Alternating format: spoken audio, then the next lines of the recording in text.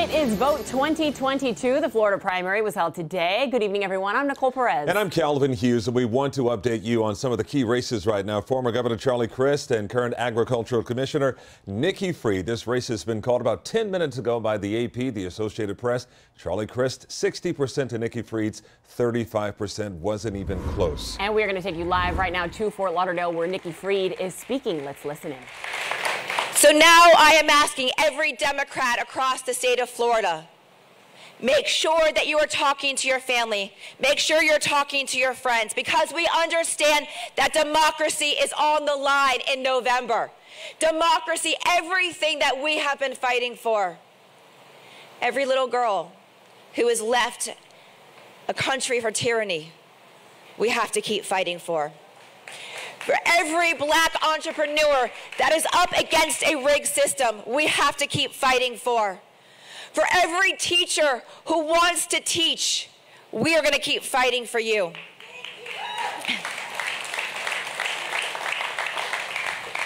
And for every And that is Nikki Fried in Fort Lauderdale. Let's take you back to the numbers one more time. Charlie Crist won this race 60% to her 35% of the vote. Charlie Crist will now take on Governor Ron DeSantis in November. That's going to be a very tough race for the congressman. State Senate race here for District 35 incumbent Lauren Book taking on Barbara Sharif here. This race not even close once again, 61% to the first black Broward County Mayor Barbara Sharif, 39%. Lauren Book is talking right now. We'll go to her in just a moment at some point later on tonight so you can hear her victory speech. And let's go now to a rematch in District 20. Current Congresswoman Sheila Cherfilus McCormick running against former Broward Mayor Dale Holness. The two ran against each other in the special election to replace the late Alcee Hastings. The numbers here, Sheila Cherfilus McCormick taking this one 65% of the vote to Dale Holness 29%. And Miami City Commissioner Ken Russell and State Senator Annette Taddeo. Annette Taddeo winning this one here. 68% to Ken Russell's 26%. You can see there another landslide of a race tonight. And current Congresswoman Val Demings running for U.S. Senate. There was no competition here. She mm. took 85% of that vote. Our Andrew Perez is out there. Uh, at her camp, and we're going to listen into what she has to say a little bit later on. We'll be following all these races for you, so we'll continue to have updates right here on Local 10. And once again, Nikki Fried in Fort Lauderdale. She did not do well tonight against Congressman Charlie Crist and the former governor. She's giving her speech tonight to let her, all of her supporters know that she lost this race, but she had a valiant fight. A lot more coming up later on tonight.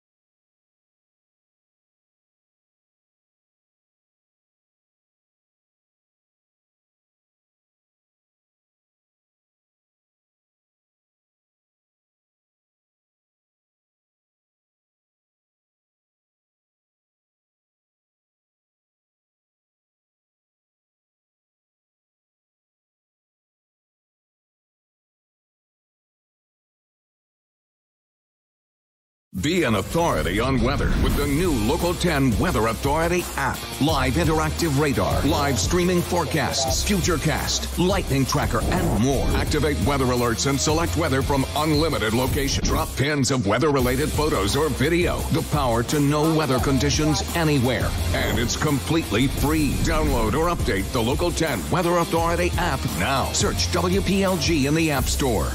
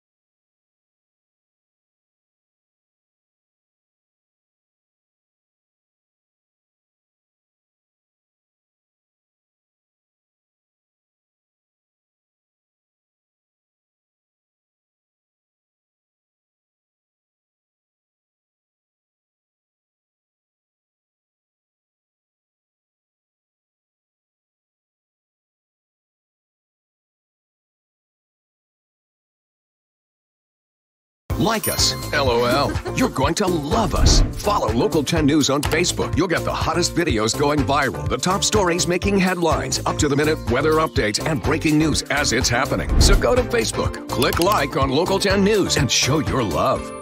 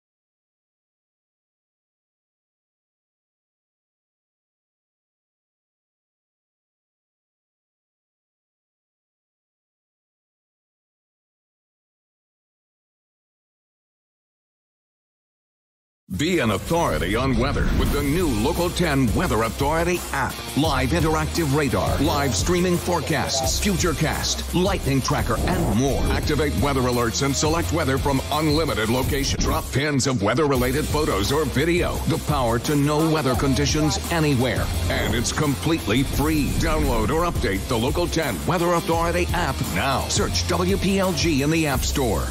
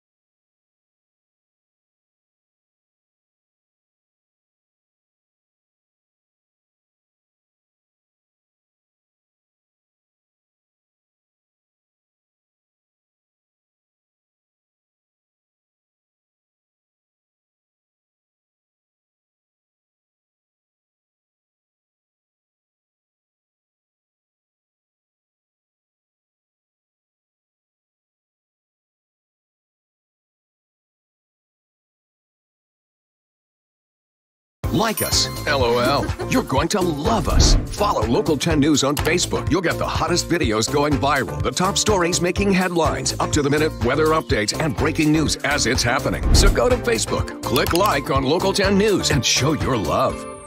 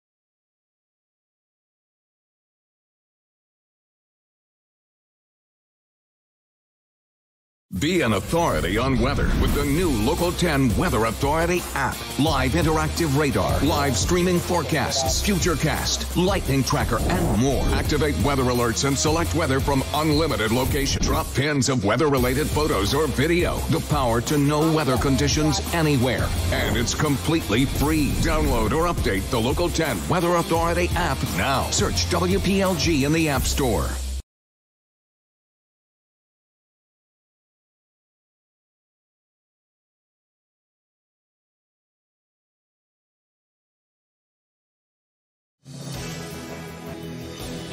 It is 2022. The Florida primary was held today. Good evening, everyone. I'm Nicole Perez. And I'm Calvin Hughes. We want to update you on some key races, and we have our Michael Putney standing by in just a moment. We're going to come to you, Michael, but we want to talk about one of the key races here. Former Governor Charlie Crist, current Agricultural Commissioner Nikki Fried, and a very uh, good race here that's been really highly touted all around the state. But Charlie Crist coming out with a dominant win over uh, Nikki Fried at 60% to her 35%.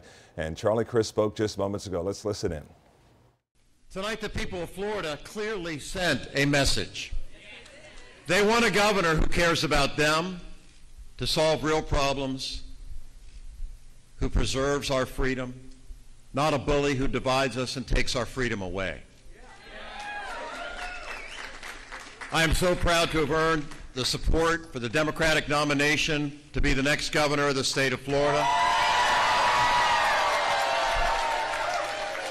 Charlie Crist coming out victorious, as we just mentioned, and we want to take you back to the numbers. This is actually for the Broward County School Board ballot question.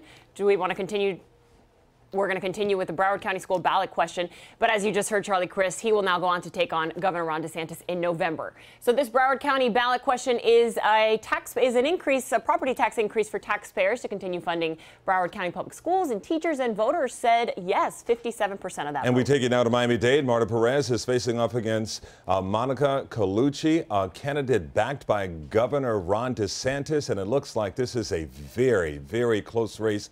52% Monica Colucci to the incumbent Marta Perez, 48%. Let's bring in our Michael Putney to talk about this one and to talk about that Broward County referendum with the rate increase that passed. Michael, you're surprised or no? Uh, well, in fact, I am, and hats off to the voters of Broward County. Five days after a damning grand jury report, they vote to extend the property taxes for themselves in Broward County. It's not a lot, but they're voting to extend the tax. So kudos to Broward County voters. Now let's go back to that uh, race between Marta Perez and Monica Colucci. The really interesting thing here is that Monica Colucci was anointed and supported by Governor Ron DeSantis. And Marta Perez has been on the school board for nearly 30 years. She's been a steady, reputable member of the board. But Monica Colucci is more conservative than Marta Perez, and she says, I will support basically the governor's agenda, and it looks like she is going to be on the board. And Michael, stay with us here because we want to look at state senate race for newly drawn District 35 incumbent Lauren Book taking on Barbara Sharif. Yeah. 60% of the vote there, Michael. Are you surprised about this one? Well, I'm a little surprised at the margin of victory. It's a very solid margin of victory for the Senate uh, Democratic leader Lauren Book. Uh, this is all of western Broward County. Barbara Sharif was well known there, particularly down in the southern part of the county, and Lauren Book just walked away with it. This is a very impressive victory. And speaking of walk away, Sheila Cherfilus McCormick beating Dale Holness in that race for District 20 as well. Michael, we'll check back in with you in just a moment. We thank you for joining us. Stay with us. We're going to continue to follow all of the races and join us at local10.com.